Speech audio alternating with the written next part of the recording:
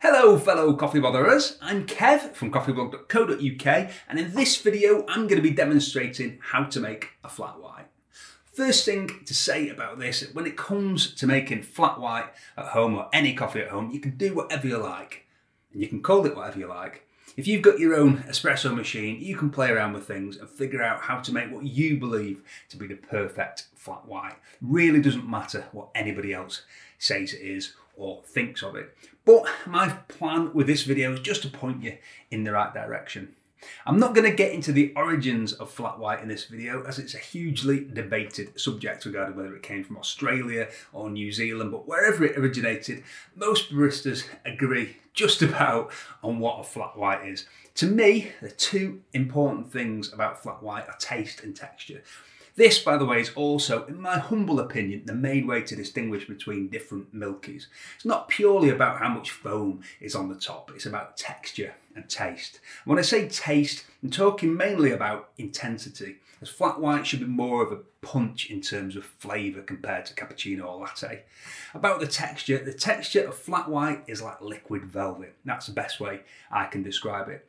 This is tricky now in terms of distinguishing between different milkies because the flat white texture is so popular now that many coffee shops will use this kind of texture for cappuccino, too, and latte. And this is what led me to recording this video where I show how to make what I believe to be an old school, more original cappuccino in reaction to a comment someone left asking how to recreate what they believe to be a true cappuccino. So flat white is a stronger milky compared to latte and cappuccino with a texture of liquid velvet and with an intense coffee flavour. They're usually served in cups or glasses ranging from about 5 to 8 ounces, about 150 to 250 mil. And they're usually made with double espresso or double ristretto. You can use whatever milk or milk alternative you like. Personally, I use full fat cow's milk. I haven't eaten meat since 2009, but I'm not full vegan. And so far, I've not experienced any milk alternative that I think comes close to full fat milk. Unfortunately, full fat cow's milk. That being said, I know there are a few newer milk alternatives I've not tried yet, so this could change in the near future. So making a flat white and I'm using the Sage Bambino. This is the Bambino, not the Bambino Plus. Click here somewhere for the video I've done on the Bambino. No, one of the videos I've done, I've done a couple and I will do more. So I'm gonna do a flat white using double espresso. As I said earlier, you can use espresso, you can use ristretto. If you want to get into to using ristretto, there's loads of videos on YouTube telling you how to pull ristretto shots, and I will do a video on ristretto, but I'm to make it easy with this video and just do espresso. And it does depend, in my humble opinion, on what coffee you're using. And the coffee I'm using today is quite simple in terms of the acidity. It's not got a really sort of funky acidity or anything like that. It is my Cacao Uganda blend from the Coffee Works, cworks.co.uk, and use the discount code YT25 for 25% off. Shameless plug. This works well for flat white, in my humble opinion. The reason I would want to do a ristretto rather than an espresso would be if I was using maybe a slightly lighter roasted coffee or any coffee that had a bit more acidity, in particular if it had sort of interesting acidity that you wouldn't necessarily want from a milky. I would want a little bit more one dimensional, strong, powerful coffee taste in a flat white rather than sort of interesting acidity. But I'm using espresso for this flat white. I'm using the single doser attachment with bellows with the Eureka Mignon Specialita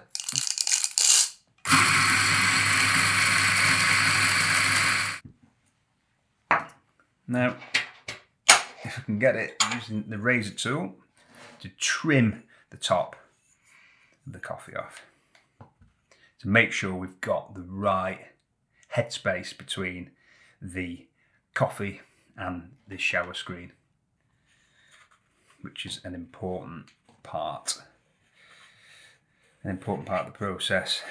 It also ensures that you've got a level surface. So if you've tamped slightly off, that levels it out. I've seen people saying you shouldn't use these. I don't quite know why, because I think these are really good for making sure you've got the right headspace every time and a level surface. I really like the razor tool.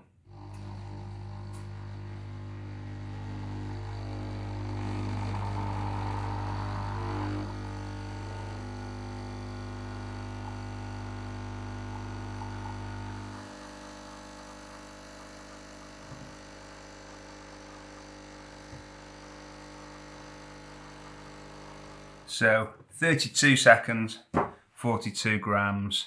Should have stopped it slightly sooner, but you know what? Not bad. Okay, now to do the milk, and I've just changed the one tip on the Bambino to the four hole steam tip. Just to show you. So the Bambino Plus and the Barista Pro come with a four hole tip, whereas the Bambino comes with a single hole tip. And I just prefer the four hole tip. I'm going to show you a couple of ways it can fail. I'm going to show you not enough air being pulled in, and I'm going to show you too much air being pulled in.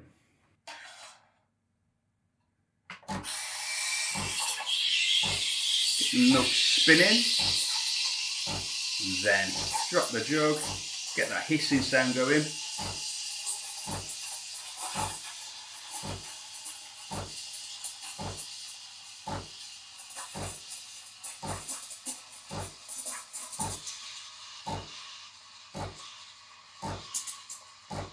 And now lifting the jug up and just keeping it spinning now while it's heating up.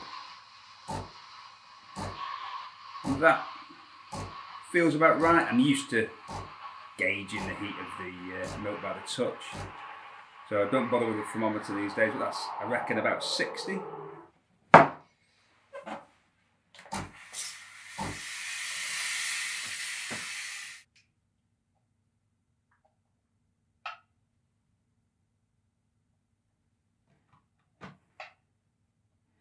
So that is an example of not enough air pulled in. As you can see, virtually nothing came up to the surface. So I didn't get enough air into that.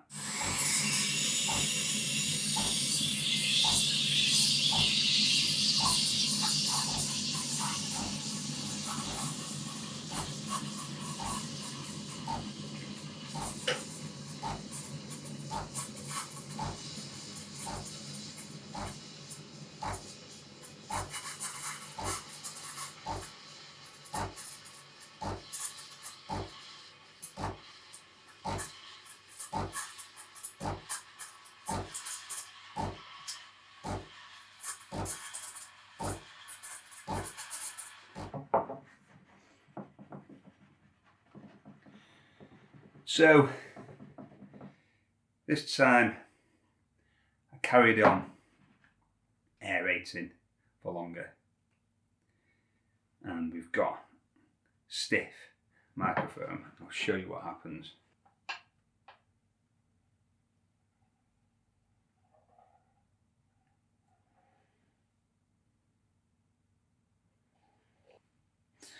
So it's pourable but that is really what I would call cappuccino because you've got a stiffer foam. And it's a bit blobby. And that is not an old school cappuccino, but it's more of the kind of cappuccino I would expect these days. And I'll now show you what will happen if you don't create microfoam, but you break the surface of the milk too much and you're actually creating what I call old school cappuccino foam. So I'll show you that as well.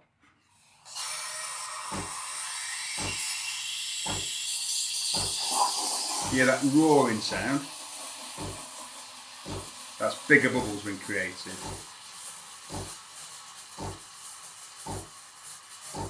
So you're not getting a ripping paper sound, you're getting like a roaring.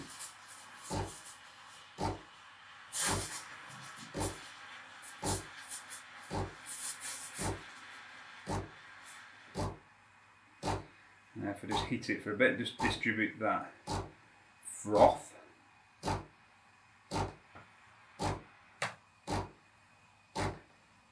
You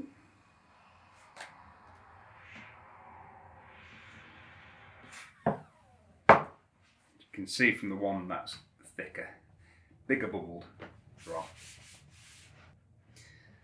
And if you look at how much it's stretched, we've come right up to the top, well, near the top of the spout.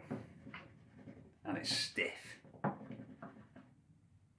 if we try and that,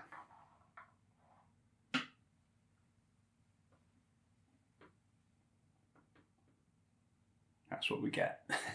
and that's fine if that's what you want. So if you want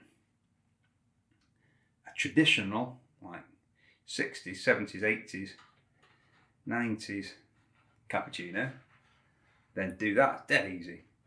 And if you grab a spoon, you can do that. And then chuck some chocolate on the top, make it into a proper old school cappuccino. Why not if that's what you like? But this video isn't about cappuccino, it is about flat white. So these are the ways you can go wrong. You can under aerate with microfoam, so you are creating microfoam, you know, the small bubbles, but you don't do it for long enough.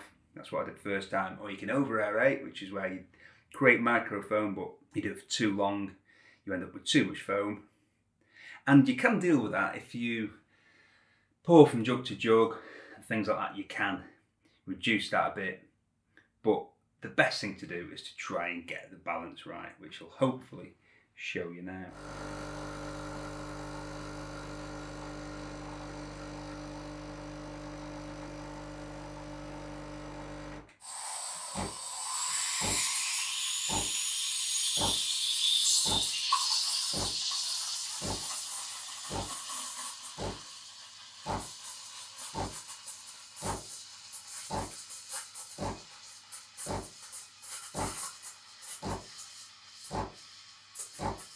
Still doing that subtle aeration.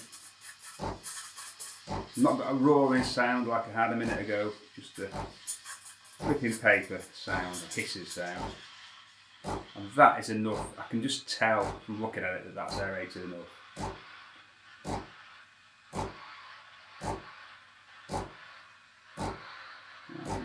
That's about hot enough. And that looks perfect to me. There's definitely air in there, I've definitely stretched it, but I don't think I've overstretched it, so I don't think it's going to be hard to pour, I don't think I'm going to have masses of foam on the top of this flat white, and I think it will be a flat white, not a cappuccino. I'm going to swirl this espresso because this cacao Uganda blend has a really chunky crema. Hopefully that's all right.